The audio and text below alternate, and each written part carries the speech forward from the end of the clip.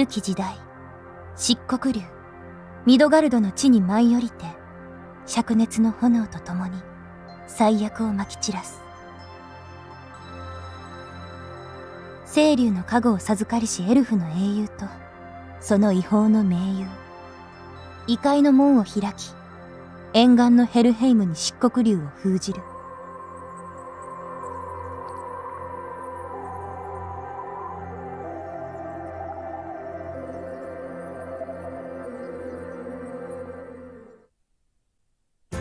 ここはとある県内にある私立三崎森学園。設立149年目を迎える勇者正しきお嬢様校なんだよ。校訓は自強不足。自ら努め励んでやまないこと。この学園には選手防衛に関する部活動があって生徒は必ずどこかの部に所属するっていう校則があるんだよ。その選手防衛に関する部活動の一つが私の所属するレンジャー部。部員数は8人と少ないけど全国トップクラスの実力で他校の目標になっちゃうくらいすごいところなんだから。今は学園名物血と汗と涙の部活対抗体育祭に向けて猛特訓中。年に一度の体育祭。もう気合が入りまくりだよ。レンジャー部顧問。星川メイカさんが体育祭のために用意した特別演習。一体どんな演習なんだろう？いよいよ体育祭に向けての特別演習が始まるのね。うちの期待の新人はどんな活躍をしてくれるのかしら？この人は土井内舞さん。3年生の我らが私立三崎森学園レンジャー部の部長なんだよ頭脳明晰で運動神経もよくって体育祭クイーンの常連とってもセクシーで大人の雰囲気を醸し出していてしかも勇者ある名家のお嬢様なんてすごすぎるよ。三崎森クイーン3連覇は間違いなしだよね。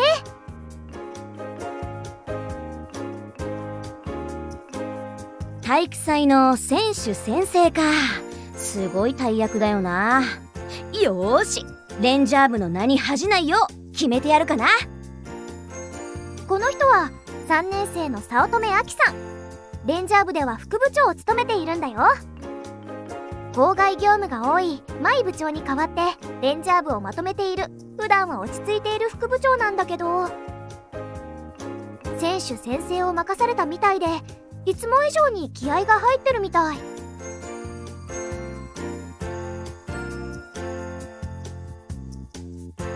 体育祭。一見遊びのように見えるが騎馬戦のように実践に近い競技もある。戦略戦術ともに鍛錬を積まなければな。この人は2年生の上白みなぎさん。個性的かつ高い能力で全国的にも一目置かれる2年生の4人組。通称三崎森の四段岩の一人なんです。冷静沈着凛とした佇まいで言葉遣いもまるで武士みたい。すごい兵法を考えちゃうところはまさに三崎森の四段岩の将南さんは宮本武蔵がその流派蒼天一流の継承者なんだけどいつも持ってる模擬刀を騎馬戦で使っちゃわないか心配だよ。ふにゃただの菓子パンじゃやる気出ないよ。体育祭はもう寝て過ごすしかないかも。パン食い競争のパンに文句を言っているこの人は天峰咲さん。2年生で三崎森の四段岩の一人なんです。携帯食がお菓子ってくらい甘いもの好きでかつ疲れることが大嫌いなサボりの常習犯。咲さんを体育祭に参加させるためにはパン食い競争のパンをドーナツとかマカロンに変えないとダメかも。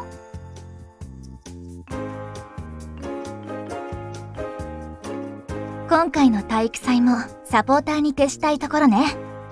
でも二人三脚とか騎馬戦は密着できていいかも。合法的にモミケーションもできそうだから参加してあげてもいいわ。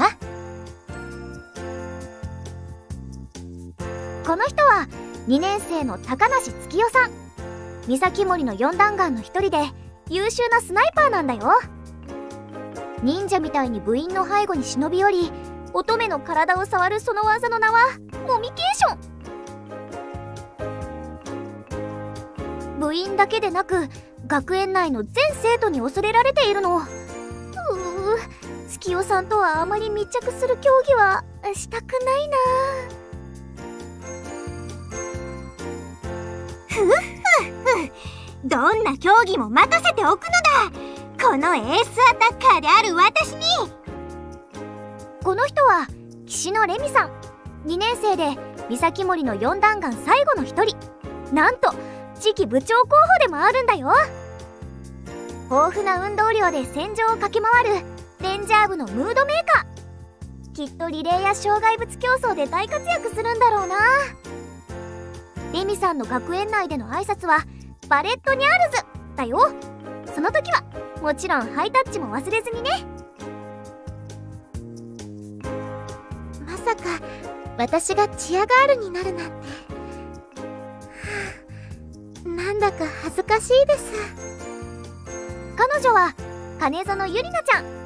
エルダ学園からの転校生で夏季合宿から仲間になったんだよ。おっとりした雰囲気でとっても朗らかなんだけどいざという時にすごく頼れる同級生。お菓子や料理を作るのがとっても上手でレンジャー部の演習の合間に美味しいものを用意してくれる。転校してきたわけだから体育祭はもちろん初参加。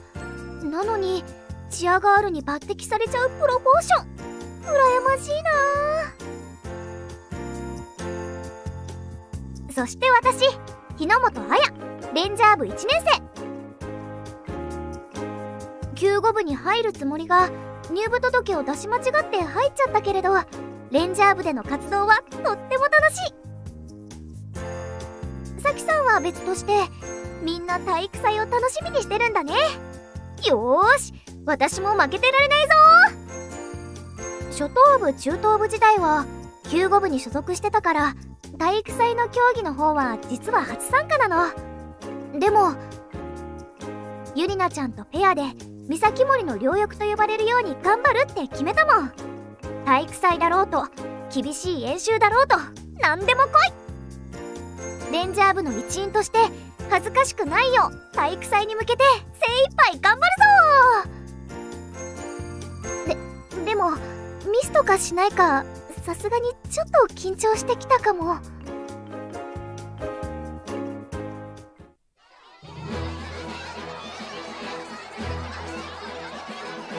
ほらアヤもたもたするな。ヘリに狙われるぞ。走れ。敵装甲車にも注意して。油断は禁物よ。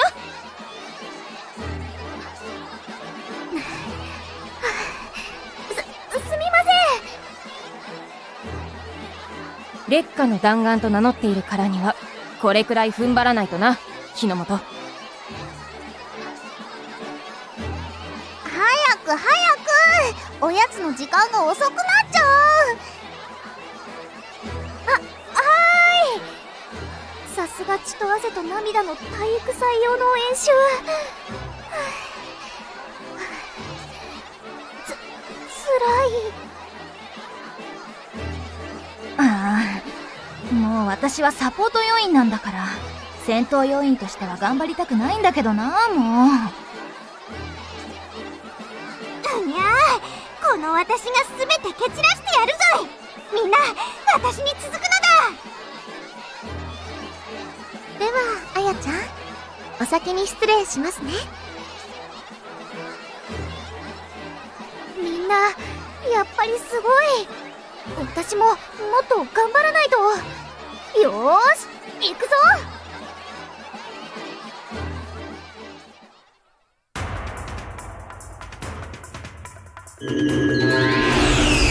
あ今回の演習はすごい力が入ってるのだ。バカな。こんな現象は見たことがないぞ。これはまさか。異世界への扉が開いてスイーツガールズ出動なの。そんなわけないでしょ。とにかく距離を取った方が良さそうね。これが三崎森の体育祭用の演習なのですか？一体何がどうなっているんです？何か嫌な予感がする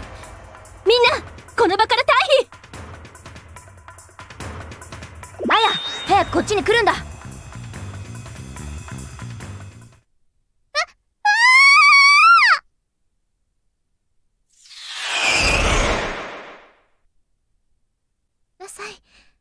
起きてください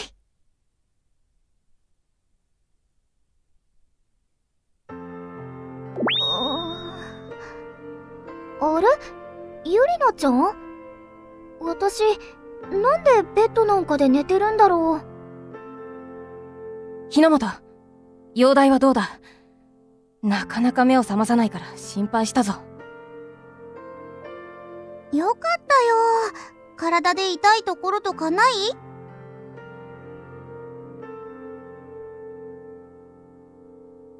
本当に良かったわ。べ別に心配なんてしてないけど。月夜はああ言ってるけど実はさっきまであやっちが心配でテントの前をうろうろしてたのだ。うるさいわね。この私がそんなことするわけないじゃない。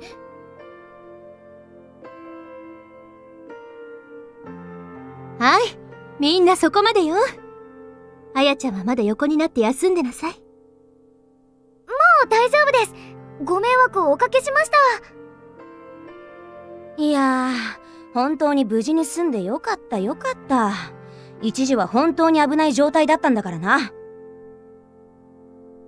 あやちゃんは気絶しちゃうし知らない場所に放り出されてしまうし謎のモンスターに囲まれるしで本当に大変でしたね。んゆりなちゃん私の聞き間違いかな？モンスターとか聞き慣れない言葉があったような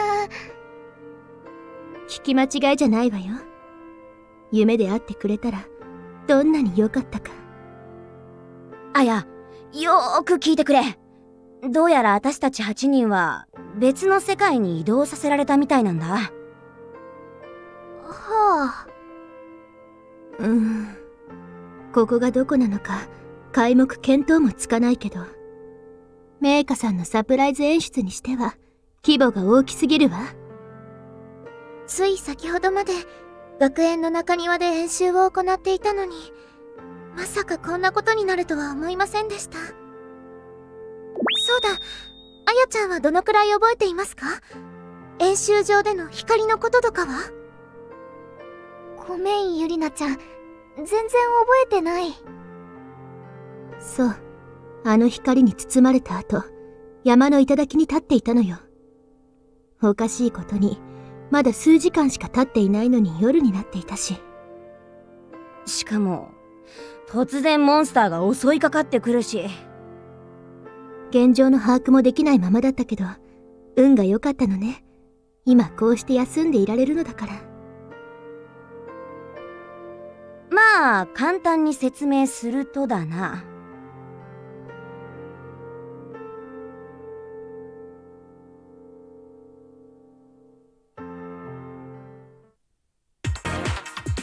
みんな大丈夫か？あや？あやはどうした？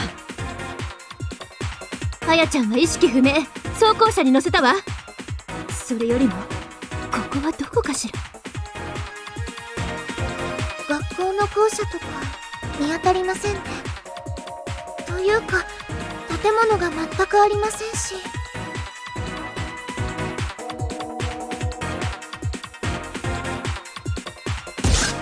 なんだあれは？モンスターなのか。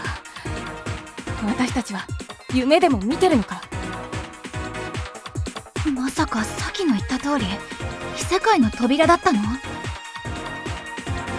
そんな冗談だったのに何も現実にならなくて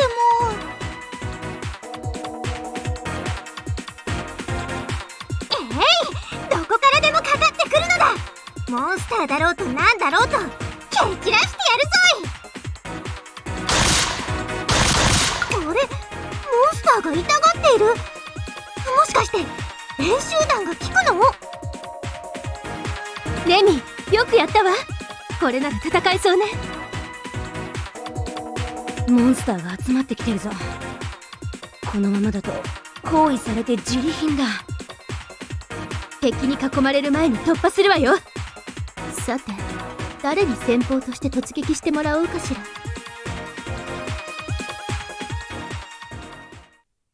副部長としては無様な戦いはできないんだよな。指定ポイントまで突破するぞ。任せろ。限られた時間内で任務を完遂するぞ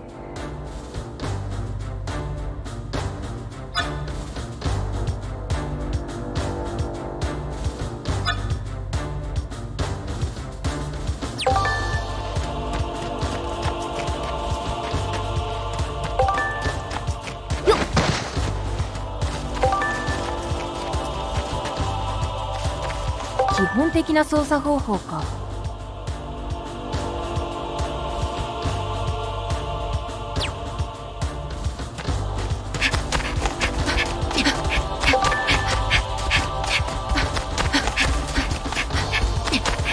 武器の取り扱いは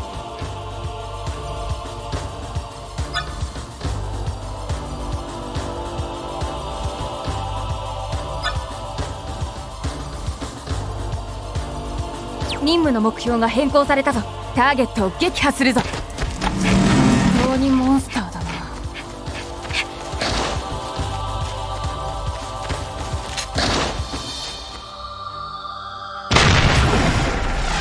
ふん戦えるな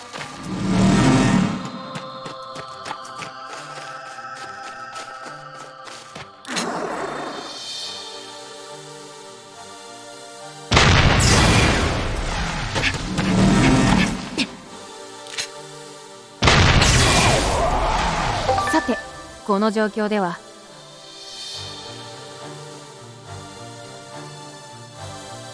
敵側のジェネレーターを潰すのだ。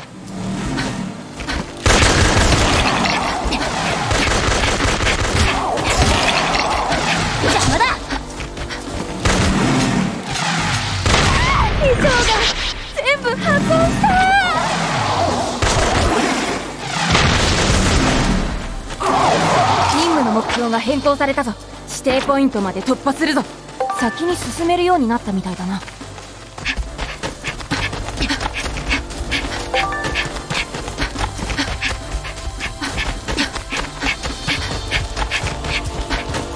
大変だ。新たな敵が接近中だぞ。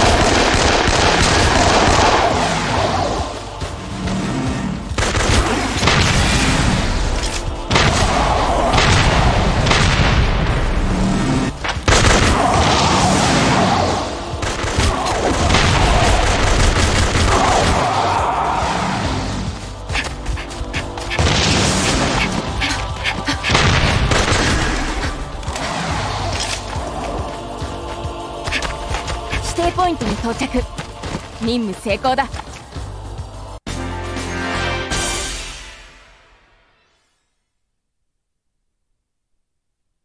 完璧。ノーダメージってのはほんと気分がいいな。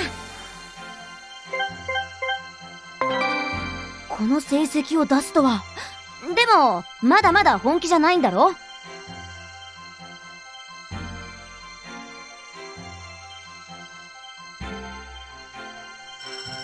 レベルアップだぜ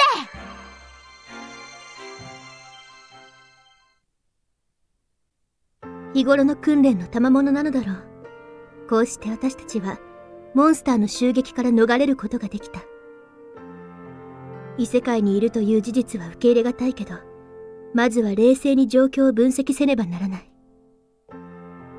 この世界には、モンスターが存在していて、私たちを襲ってくる。種類は多いけど、その全てが死骸とか無生物であるみたい。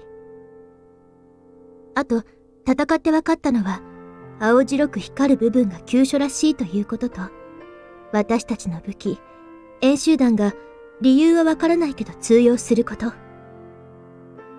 当面は戦ってモンスターを退けることができるけども、演習弾にも限りがあるし、悠長に構えていられないわ。まずは身の安全を確保しつつ、この世界についての情報を集めないと。